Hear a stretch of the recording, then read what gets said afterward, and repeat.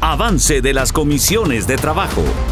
El diputado Eric Sundeleón, presidente de la Comisión de Asuntos de Discapacidad del Congreso, intermedió por la entrega de sillas de ruedas a personas con discapacidad del departamento de Quetzaltenango por medio de la Oficina Municipal de Discapacidad de Cantel y el apoyo del Ministerio Evangélico Betel.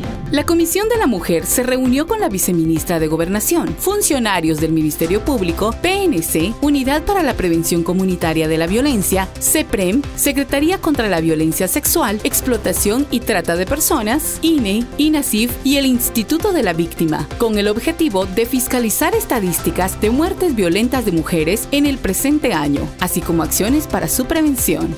La diputada Telma Ramírez, presidente de la Comisión de Legislación y Puntos Constitucionales, se reunió con el gerente de INTECAP, la viceministra del MIDES, funcionarios de la SOCEP, Secretaría de Bienestar Social, MINECO y MAGA, así como mujeres representantes de diferentes municipios de Izabal, quienes solicitaron intermediar por programas sociales y de emprendimiento.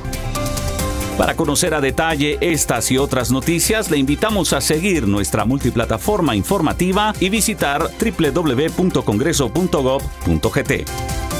Congreso de la República de Guatemala.